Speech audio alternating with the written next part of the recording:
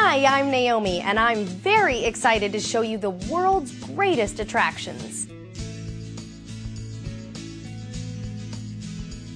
It's one of the most famous centers of arts and entertainment in the United Kingdom. The Royal Albert Hall was built in 1871 at Prince Albert's proposal.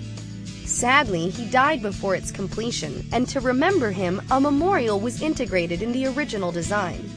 It has been home to many of the most famous musicians of the 20th century. The exterior of the hall features paintings depicting the triumph of arts and sciences. The Royal Albert Hall is one of the best places in London for concerts, plays, or dances.